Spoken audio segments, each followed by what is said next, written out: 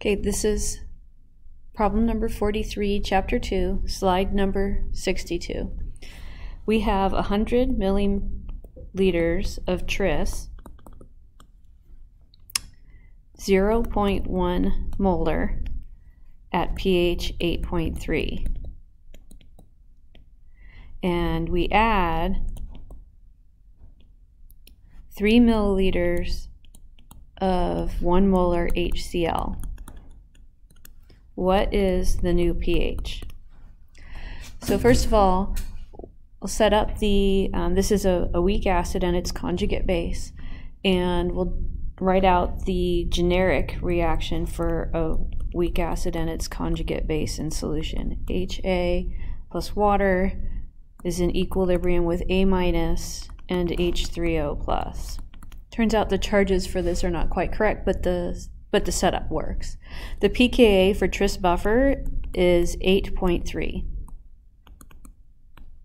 So if we have 0.1 molar total concentration of tris buffer at pH 8.3 and the pKa is 8.3, that means we have half and half weak acid and conjugate base. So I can say that the concentration of HA is 0.05 moles per liter, and the concentrate and the concentration of A minus is 0.05 moles per liter. And we have 0.1 liters of each.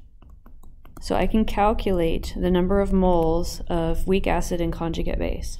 That gives me 0.005 moles of HA and 0.005 moles of A minus.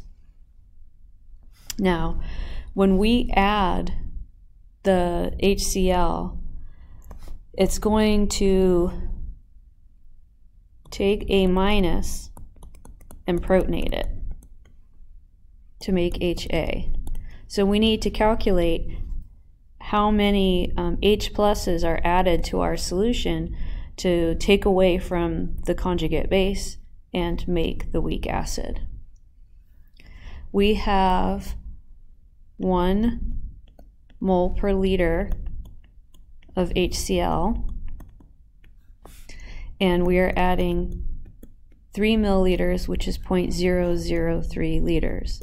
And that gives us 0.003 moles of H+. plus. So that means we have um,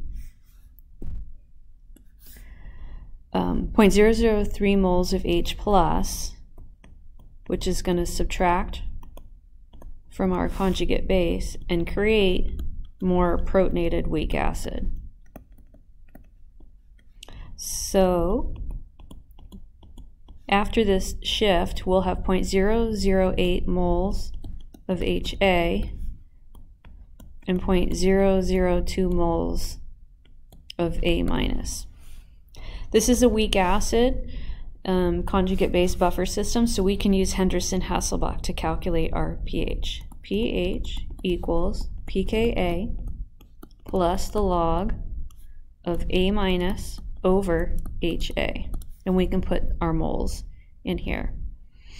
So 8.3 plus the log of 0.002 divided by 0.008. So that's the log of 0.25.